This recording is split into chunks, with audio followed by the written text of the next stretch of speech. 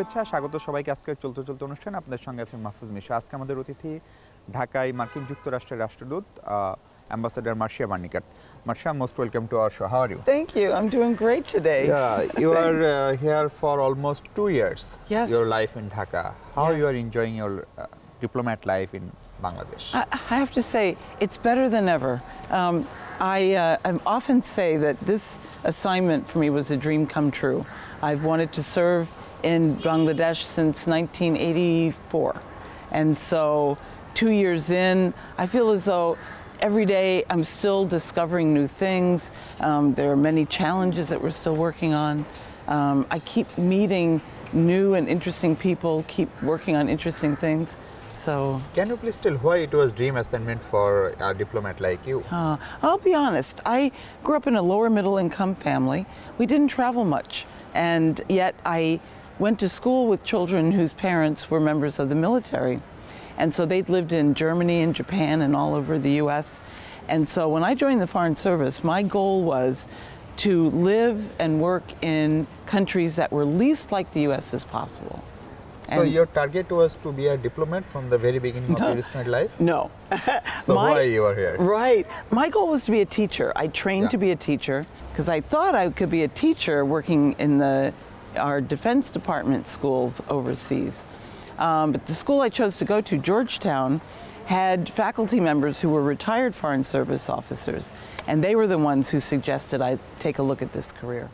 Uh, so during your diplomatic life, it's a long journey. Oh, yes. You have to face some difficult situation. Yes. Can you share with my audience the toughest moment of your career? When I served in Senegal, also as ambassador, um, we were working with the host government and the, the president on um, uh, developing uh, uh, Senegal and on fighting corruption. And at one point, he confronted me actually on camera um, because of an op ed piece that uh, the embassy had placed in the paper. He thought that the, the op ed was attacking him for being corrupt. Oh. Instead, the article talked about corruption and what it does to an economy, to a society, to a government. So it was uh, overall holistic. Absolutely. Uh, and um, what is the most pleasant experience of your life, That- especially diplomatic life? I have to tell you, that one is almost impossible to answer. When uh, I served in New Delhi, my husband and I adopted two children from Mother Teresa's, two sons. That was absolutely the, the most special moment. of your life. Yeah, yes. Uh, so you are here in uh, last two years and you have traveled already many districts and Yes. you know your our former US ambassador he traveled almost 64 not almost he traveled 64 that's right. Exactly. yeah and he was the most traveled ambassador in the history of Bangladesh I think so what's your feelings after traveling several areas of Bangladesh Right. Well, first of all, I can think of two trips that have been the most uh, remarkable. One was a colleague convinced me to take the train in late July from uh, Dhaka to Rajshahi. Yeah. And he said, You will see every crop that is produced in Bangladesh along the way. We crossed that magnificent bridge and river. Um, I saw jute being harvested and stacked in the rivers. It was phenomenal.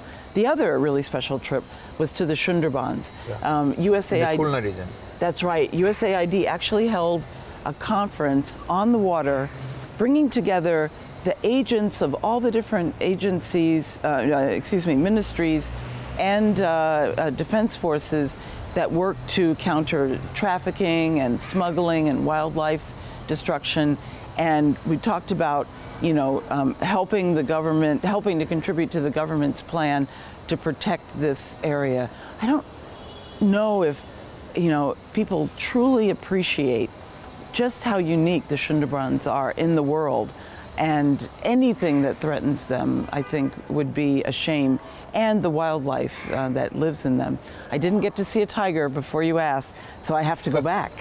so you have to go back for a tiger. Yeah. So Bangladesh is now 45 years, 45 years over. So it was a very vulnerable country in 1971, just after the independence. How do you evaluate the present economic, socio-economic condition of Bangladesh? Hmm. Well, people talk about the Bangladeshi miracle. What country in 45 years has gone from the devastation of a war, dire poverty, as you say, vulnerability to some of the worst natural disasters.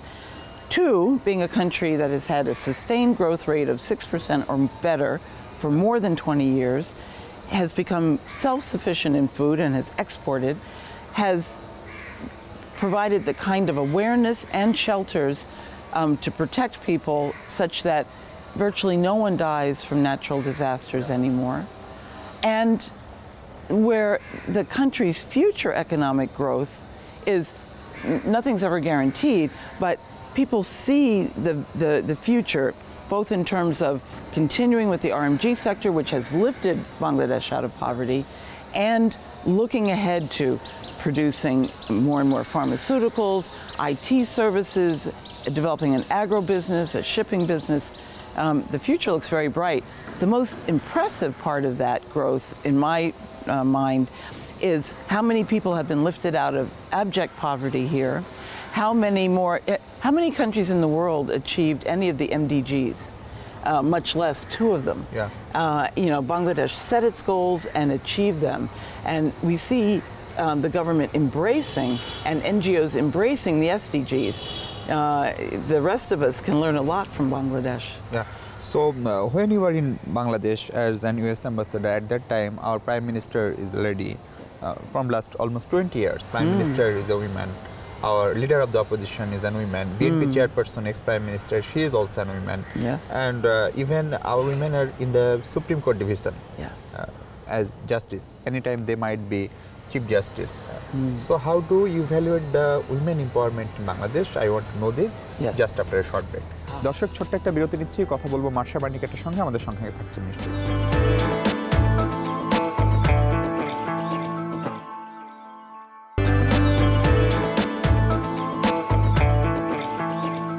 দর্শক বিরতির পর স্বাগত আরেকবার চলতে চলতে অনুষ্ঠান আমরা কথা বলছিলাম মার্শা বার্নিকাটের সঙ্গে ambassador again welcome to our show চলতে চলতে I was talking about the women empowerment in Bangladesh yes. How do you ভ্যালুয়েট this I would say that Bangladesh, like most of South Asia, has been light years ahead of the West in terms of uh, em- empowering women to be political leaders of the country. And uh, we in the West, uh, in, especially in the U.S., are still catching up in, in, Yeah. in many ways. However, women's empowerment means so much more. Um, and it has to do with, you know, can a woman make a decision for herself? Ambassador during your Dhaka mission, the terrible 1st July attack in Gulshan Yes. held. Uh, And I think it was one of the toughest moments of your country. Uh, can you recall that day? Yeah, absolutely. In fact, it was the toughest moment, I think, for both of our countries in, in, in, in many ways.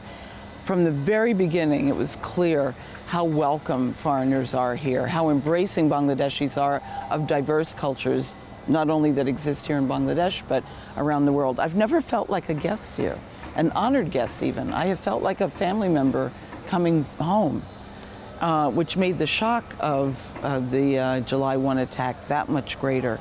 Um, we had been working uh, diligently, not just for the previous year, which was particularly active uh, in terms of terrorist violence, but for years before that on, on this attack. Uh, excuse me, on, on uh, helping to prevent terrorism or respond to it. Um, I was not in Dhaka the day of the attack. I was um, uh, back, uh, I, I was actually in, in the Caribbean visiting a friend on, on uh, leave. During, after Rana Plaza, after Rana Plaza tragedy, our foreign friends said it was a wake-up call for Bangladesh RMG sector. Yes. And Bangladesh responded uh, very positively. And now the best three or four garments in the world is in Bangladesh. Uh, So do you call it was a, it was also a wake-up call regarding terrorism and extremism for Bangladesh government or Bangladeshi people? Oh, yes, absolutely. Um, for one, uh, we had all worked particularly hard to make sure that the area where most foreigners live Yeah. was protected because the threat was against foreigners Correct. and foreigners had been killed already. So it was a breaching of, of, of that effort. And the way it was breached, I think, was the most shocking and the biggest part of the wake up call. The attackers included young men who were from this neighborhood, you know, who had grown up. It challenged all of our assumptions about who was either attracted to terrorism or who could be turned and used by the terrorists. Are you really happy with the security condition after 1st July attack? First, the police and you know other security apparatus here have done an amazing job, and I always start by praising them. We know that they're expending a lot of energy, a lot of resources to protecting uh, the uh, diplomatic uh, enclave and all of us who are working here, and we are grateful every day. I, we could not be here if it were not for, for the police and, and their protection and the government's strong response. Um, that said, we've seen in so many countries where an attack occurs, and I'm thinking of France and Belgium, where attacks occurred, there was a good, robust response, people were arrested, you know, people were killed. Months went by, people became comfortable, and even more horrific attacks occurred. So while I'm very pleased with the response we've gotten, my message is constantly we cannot let down our guard. We cannot stop So anytime it can happen. a- anytime it can Anywhere. happen. And what what is our best defense? You know, in the days when Al Qaeda planned very big, elaborate attacks, it was easier to to detect all of the elements that had to come together to make those big attacks happen. But you, you got the chance to mix up with the Bangladeshi people. Uh, do you really think is it a fertile land for the um extremist people? I, I- I would say this, and it's it's true of Bangladesh, but it's true of every country, especially a country that is striving um, to to be modernized, and that is that there's some portion of our populations that are being left behind, um, and those individuals who are disaffected are ripe for being turned against their own countries. Um, no matter how strong the culture is, no matter how um, how devout and and moderate the the uh, the uh, religion is. Um, you you take the young men who came from Gulshan. Yeah. You know, um, by every study I've seen, you know they estimate that these are young people who have gotten excellent educations, but may not have jobs. A quarter of young people in this country between 15 and 29 are neither in school nor working. So, and maybe they were a little bit alienated already from society for whatever reason. Maybe they played a lot of video games growing up or they felt socially awkward.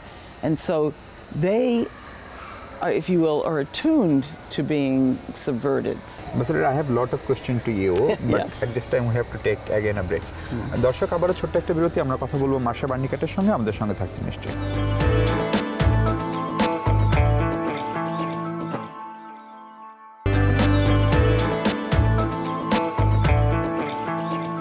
দর্শক বিরতির পর স্বাগত আরেকবার আমরা কথা বলছিলাম ঢাকায় মার্কিন যুক্তরাষ্ট্রের রাষ্ট্রদূত মার্শা বার্নিকাটের সঙ্গে ambassador during your this short tenure secretary Kerry visited Bangladesh for the. First time and obviously it's a big achievement between our bilateral relationship. My question is that how we are stand now? I mean where our bilateral relations stand now?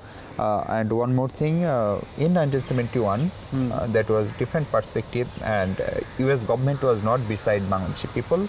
And sometimes they said it's a bottomless basket. But nowadays us government said you also said bangladesh economically it's a idol or it's a model country. Yes. I really appreciate the extent to which Bangladeshis know their history and really cherish their history. I point with pride to the fact that after Bangladesh won its independence, that same government, very pragmatic as it was, was among the first to recognize Bangladesh Yeah. in 1972. We provided, in dollar terms, the exact same amount of aid that we are providing today, $200 million, Yeah. which went a lot further in 1972 than, than they do today. And we were, we were supportive of Bangladesh's bid to become a member of the UN as well.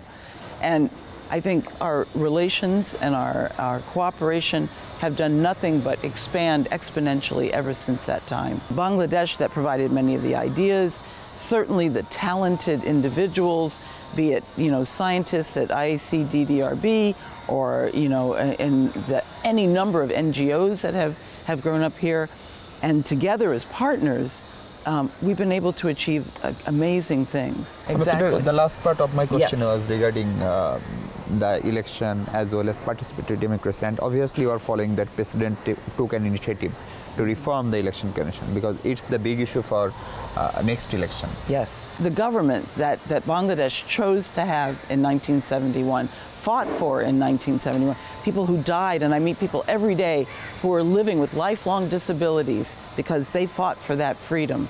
And so if that participatory democracy is eroded in any way, again, it becomes less valuable and certainly less of a protection against the kind of extremist thoughts.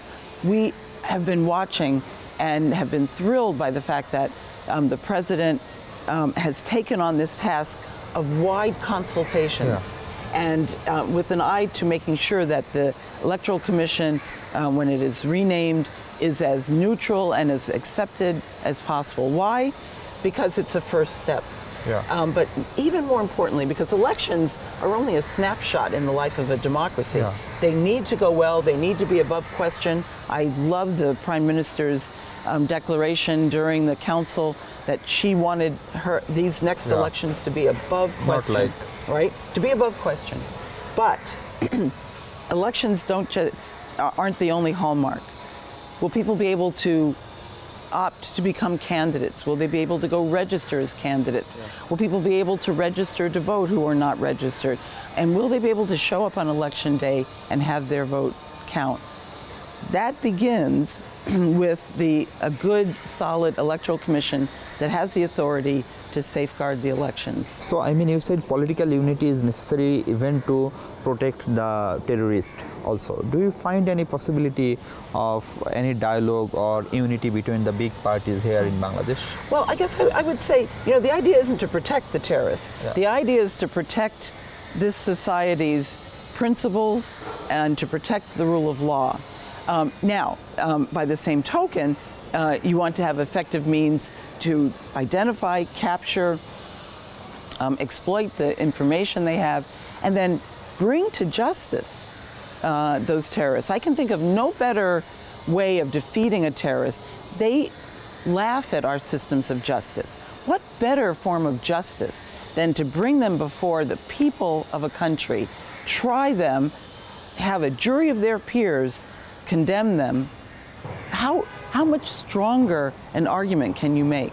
And an example can you set? You know, if ISIS or Al Qaeda or any other group are looking to dismantle Bangladesh, it is the loudest cry that says, We will not be moved, we will not be changed.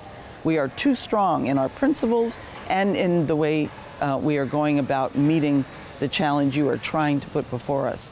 So, how to strengthen those, those mechanisms? Part of that is by making sure every member of society is standing behind those principles. The more, again, the various parties, and I mean that with a capital P, the political parties, and individual party, uh, you know, uh, individuals in society are able to have those discussions, to debate those issues, to come to, to come to an understanding, if not an agreement, uh, on, on each other's positions, all of that helps strengthen uh, that, that democratic response. Thank you, Ambassador, for your valuable time. Oh, thank you. And and thank you for coming to my home. আহ, দর্শক শেষ করছি আর দেখা হবে পরবর্তী পর্বে নতুন কোনো অতিথির সঙ্গে সে পর্যন্ত ভালো থাকবেন সবাই